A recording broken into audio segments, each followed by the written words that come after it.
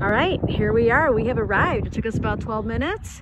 And uh, Fork and Spoon Cafe. Well, it's absolutely adorable on the inside. Nice big windows, really tastefully decorated. Fortunately, we're under quarantine, so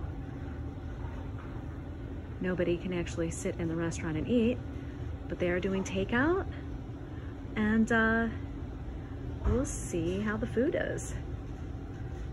Okay, well, I lucked out here, guys, and uh, the owner of Fork and Spoon Cafe is here, and he's open for carryout and everything else. So I just wanted to do, just do a quick introduction. Yeah, great. We're a family uh, restaurant. We do breakfast and lunch primarily. Um, we've been here a couple years. Uh, What's your name? Bob. Bob. Okay. Yeah. Are you from the area, Bob? I am. I live in Lemont. Nice. So.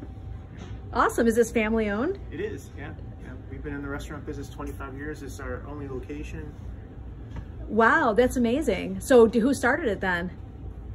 The, the whole thing started with my dad uh, 25 years ago uh, in a, at another location on the southwest side of the city. And then okay. We retired and we had a partnership there that ended, so we came out this way. And we've been in Lemont uh, close to two years now with a great community, great leaders, uh, happy to be here. Yeah, absolutely. Well, that's a great story. I'm so glad uh, that you're still serving the community and I'm really grateful to uh, check out your food. And uh, when this quarantine is up, I'll definitely be back here with some friends and we'll have some breakfast. Sounds great. Great. All right. So that was pretty cool. And uh, they, just to give you an idea of what they're doing for sanitation, they basically, uh, every hour they sanitize everything. Uh, all their employees stay six feet apart and uh, uh, just a great business. Go support it. Fork and Spoon in Lemont. All right. All right. Well, I just got home from Fork and Spoon and it looks absolutely delicious. I got my side order of fruit and that's my white egg, egg white scramble. And check out these chocolate chip pancakes. They look pretty amazing. Five of them? Oh boy, my teenage boy who is on the couch and won't let me film him, uh, he's gonna love it.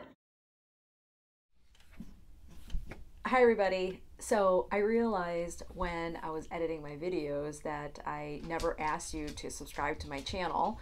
So here I am. Uh, please subscribe. I will be getting out and doing a ride every week and uh, looking for restaurants that uh, have some good uh, nutritional uh, menu items and also have a real connection to the community. Uh, so I already have two more lined up. I was able to interview the owner of the Harvest Room, interview the owner of Pedal and Cup, which is a really great location off of the White River State Trail here uh, close to Lake Geneva, Wisconsin. So if you want to see more videos, please hit subscribe. And if you like the videos, also hit like. Uh, and you can hit the bell and that'll give you notifications to when the uh, when I put up new content. All right, enjoy. Have a good one. Take care, everybody. Bye.